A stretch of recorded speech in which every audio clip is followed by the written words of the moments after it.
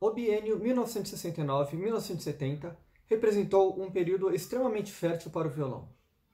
Guerra Peixe comporia entre agosto e dezembro de 1969 sua única sonata para instrumento, três canções para canto e violão e o prelúdio número 2. Entre fevereiro e abril de 70, comporia Galope para conjunto de câmara com violão, dueto característico para violino e violão e mais três prelúdios, sendo que nesse mesmo ano, Francisco Mignoni comporia nada menos que 12 estudos e 12 valsas em tons menores para violão. Os cinco prelúdios de Guerra Peixe inicialmente não foram criados como um ciclo, mas assim arranjados para publicação em 1973. Há em várias de suas obras desse período referências não apenas literárias e visuais, mas também em relação à fluidez do mar, dos rios e das águas. O prelúdio número 1, em forma binária, possui data de composição de 18 de dezembro de 1969, recebendo posteriormente o subtítulo Lua Cheia, tendo sido originalmente dedicada a Léo Soares.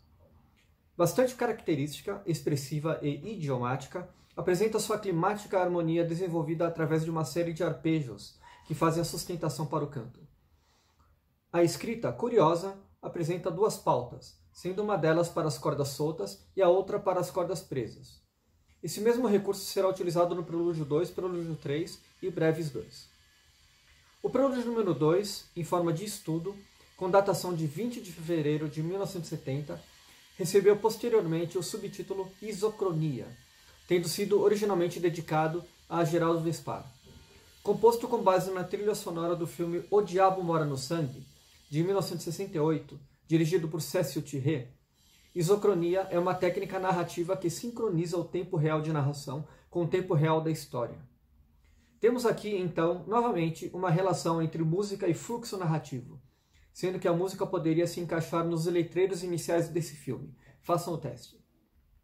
Também em forma de arpejos e em forma binária, diferencia do primeiro prelúdio especialmente pela utilização de intervalos de segundas maiores e menores especialmente na melodia nos baixos, e pela tonalidade de sol. O prelúdio número 3, que na publicação recebeu o subtítulo Dança Fantástica, que não consta no manuscrito, possui datação de 9 de abril de 1970, mesmo ano da estreia por Sebastião Tapajós, sendo originalmente dedicada a Silvio Serpa Costa.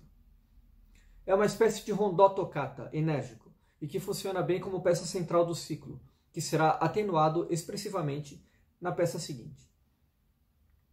O belo e tranquilo Prelúdio número 4 recebeu o subtítulo Canto do Mar para a versão publicada e foi dedicada ao violonista Valtel Branco, com datação de 13 de abril de 1970. Sua melodia serena é apresentada como um singelo canto acompanhado, seguindo-se de estrutura coral e intervenção em quiálteras, para, enfim, uma pequena movimentação em melodia sustentada por arpejos.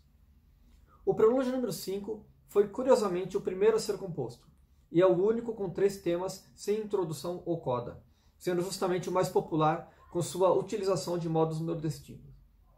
Inicialmente intitulado Ponteado para viola de 10 cordas ou violão, tornou-se posteriormente Prelúdio número 5, Ponteado nordestino para viola de 10 cordas ou violão, e foi datado de 1966.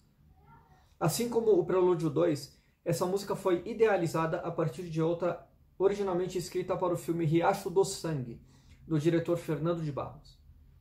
Esse filme, assim como em O Diabo Mora no Sangue, possui também violão em parte camerística na trilha sonora, tocada por Geraldo Vespar.